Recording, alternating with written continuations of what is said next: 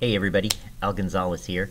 Uh, every time I get a question more than once uh, from parents, I think, you know what? Other parents might have the same question, so I'm going to record uh, a video just to help out. So the question I had is, oh, you know, how do I sign up for um, a conference today? Uh, right now, it's it's in your Bloomz, whether you're checking on your phone or on the website. Uh, both are really good, but you've got this upcoming events today. If you don't see that, look for the calendar uh, button right here, and it should come up because I've attached our our school and district calendar to Bloomz.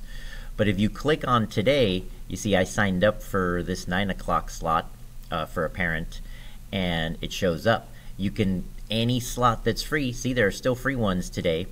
I've got the ones on the hour for cohort A2 and the ones on the half hour for cohort B2, so if you're wondering where that is, that's how Miss Berg and I did it. So you can just click on sign up and, and you're done uh, I will know, and then I'll send you the Zoom link for today. Also, remember, since I've got your attention, click on your child down here where it says timelines because this is the quickest way I can weekly let you know how your child is doing.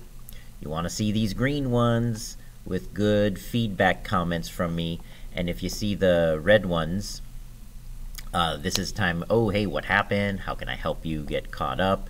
Because usually these are for not doing their work.